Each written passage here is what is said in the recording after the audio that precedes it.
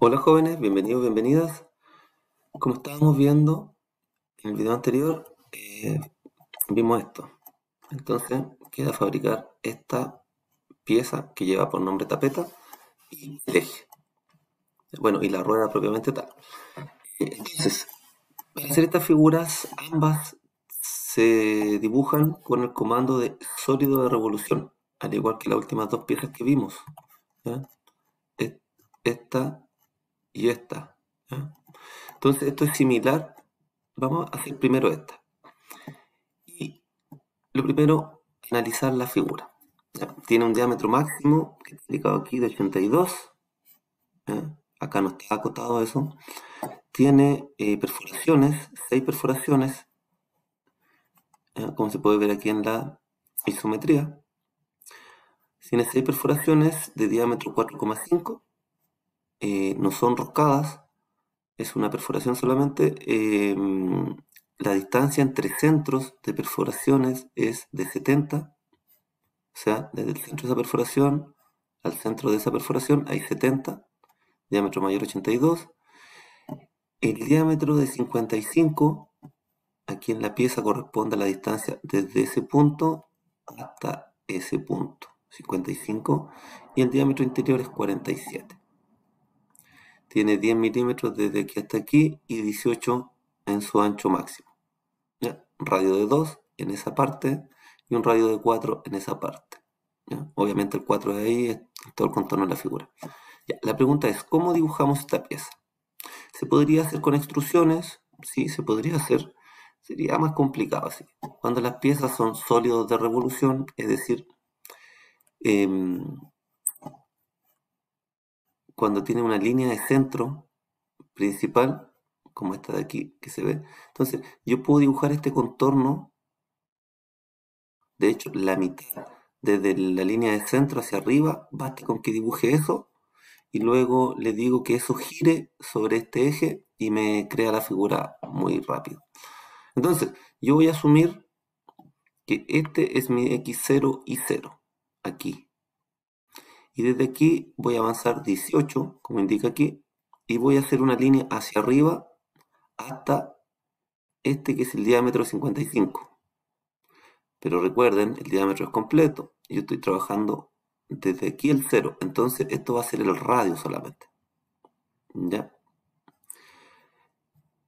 Voy a subir, voy a empezar en X20 y 0. Voy a subir hasta 55 partido en 2. 27,5. Luego, de aquí hasta aquí tengo 8. La diferencia entre estas dos medidas son 8 milímetros. Entonces, pues 8 y después voy a ir hasta arriba, hasta el diámetro máximo, que es 82, eh, pero como estamos trabajando con el radio va a ser 41, 6 y luego bajo hasta 55 nuevamente, luego 4 y cierro la figura. Eso voy a hacer. Entonces, en X20, perdón, en X18 hasta 27,5. Comienzo. Eh, archivo, pieza, iniciar boceto 2D, plano XY. Voy a hacer una línea que va a comenzar en X18 y 0. Enter. En X18, ya, porque es mi 0. X18. Y como les dije, voy a dibujar solamente de aquí hacia arriba. Porque al ser un sólido de revolución, yo dibujo la mitad y al hacerlo girar sobre este eje, voy a obtener la pieza completa. Ya, estoy aquí dibujando hasta el 55, diámetro 55, que es este. 55 partido en 2. Entonces esto tengo que ir hasta, como les dije, si yo no sé el valor, anoto directamente 55 dividido en 2, tab a 90 grados y me da el resultado inmediatamente ahí en la aplicación. ¿ya? Ahí está correcto. Enter. Luego estoy aquí, luego me desplazo 8. De aquí hasta aquí hay 8, como se indica aquí. ¿ya? Después voy a hacer los radios. Vamos a hacer los rectos solamente. Entonces, 8 a 90 grados, enter. Y luego tengo que subir de aquí tengo que subir hasta 82 partido en 2 son 41. Entonces aquí subo hasta 41. No puedo anotar 41 aquí, ojo, porque este 41 que yo digo es respecto al 0. Entonces, desde aquí hasta aquí hay 41. Por lo tanto, si ustedes se dan cuenta, aquí estamos en 27,5. Y es lo que falta para llegar a 41. ¿Cómo podría hacerlo? Ponerle 41 menos 27.5 y ahí me va a dar la distancia que es 13,5. Ya, 90 grados, enter. Luego son 6 milímetros, ya, 6 milímetros, 6 a 90, no, a 90, 6, enter. Luego bajo hasta esta misma distancia, si yo me acerco, me posiciono ahí, luego me proyecta. Ahí 13,5 luego hasta aquí. Son los 4 milímetros que faltan. Recuerden aquí son 10 10 aquí el ancho es 6 quedan 4 que son los que vamos a colocar ahora. 4 a 90 grados. Listo llegamos a este punto luego aquí tenemos que bajar hasta aquí, devolvernos y llegar hasta aquí, cerrar la figura. Entonces, ¿cuánto bajamos aquí? Mire, el diámetro interior es 47 y este diámetro, desde aquí hasta aquí, es 55, como se indica ahí. Por lo tanto, de 47 a 55 son 8 milímetros, los cuales se dividen en 4 milímetros aquí y 4 milímetros acá, acá abajo. Recuerden que es diámetro, entonces yo no puedo decir, ah, de 47 a 55 son 8, aquí hay 8, porque es el diámetro. Esto es el radio, sería el radio. Entonces son 4 milímetros que tengo que bajar, en conclusión. Entonces, desde ahí, ahí, 4 a 90, a 90, 4, enter. Y luego, adentro, hasta aquí, aquí me dice que son 4 el espesor. Si hasta aquí tengo 18, estoy aquí. Tengo 18 menos 4 son 14. Entonces, en esa dirección avanzo 14 a 90 grados. 14 a 90, enter. Luego bajo a 90 grados hasta que intersecte la línea y cierro la región ahí con la última línea aquí. Tengo que cerrar la región, si no Miren, si no cierro, escape, ya, no cerré la región. Si yo ahora le doy a extruir, perdón, a revolución, me, toma la línea, ya. Cancelar. Yo vuelvo a boceto. Línea y coloco la línea que me faltaba, que desde aquí hasta aquí. Escape. Ahí salgo el comando modelo, revolución, miren lo que pasa. La detecta automáticamente como una región, eh, en este caso, posible de ser revolucionada. Ya, está seleccionado el perfil. Automáticamente, por ser una región cerrada. Entonces me dice seleccionar eje. Y yo, como no tengo dibujar la línea de eje, tengo que ir aquí y buscar el eje. Si selecciono el I, hace esa figura, no es la que yo quiero. Entonces, aquí elimino el eje, vuelvo y selecciono el eje X. Y ahí se obtengo la figura que yo quiero. ¿Ya?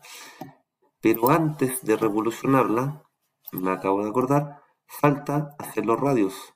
Para que sea más sencillo hacerlo ahora en el plano que después estar haciendo zoom y todo para hacer, por ejemplo, el radio interior lo hace más difícil. Por lo tanto, aquí me dice que es un radio de 2. Entonces yo voy aquí a boceto, es un empalme. Y justo está 2 milímetros entre esa línea y esa línea.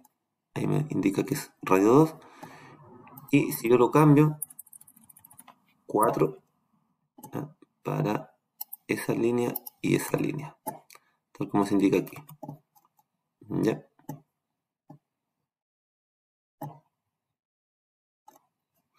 Perfecto, entonces ya está hecho eso y estas perforaciones las vamos a hacer después de destruir la pieza, perdón, de revolucionarla. Ya, ahí están los dos hechos, modelo, revolución, me selecciona la región, selecciono el eje, que es el eje X, aceptar. ¿ya? Ahí quedó hecha la pieza completa. Igual hubiese podido hacer el radio aquí después, por ejemplo, empalme, empalme, ¿cuánto? Eh, 4 milímetros para que se note. Y selecciono eso. Y me lo hace ahí. Pero yo no lo necesito hacer, ya lo hice.